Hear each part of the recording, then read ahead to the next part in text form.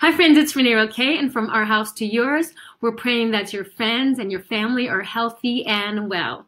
We just wanted to reach out to you, especially at this unprecedented time in our world, and just share a little story that happened last week for us.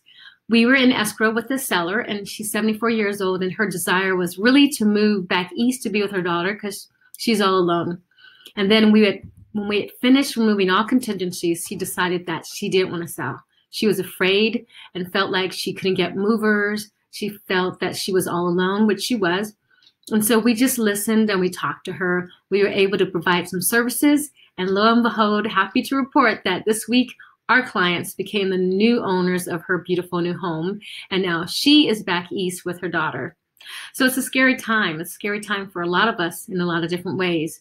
But we want you to know that we're here to answer any questions that you might have in case you need to move, in case you feel that you need to sell your home right now.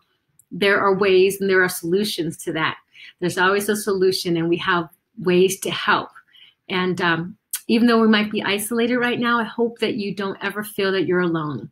And if there's something we can do to help you, if you need a plumber, electrician, uh, we have a large resource of pool of people.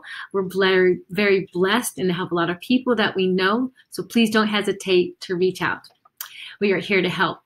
Also wanted to say happy Easter to you and invite you, if you're living here in our Santa Clarita Valley, to come out on Saturday night. Come out and be with us at COC's parking lot where we're going to pray for our valley. So it's nice, safe in our cars with our family and friends. The mayor has approved this event, so we'd love to see you there. So from Renee Roque and our family here to your family, be safe and have a wonderful Easter. We would love to see you this Saturday at COC at 8 o'clock. Bye bye, guys.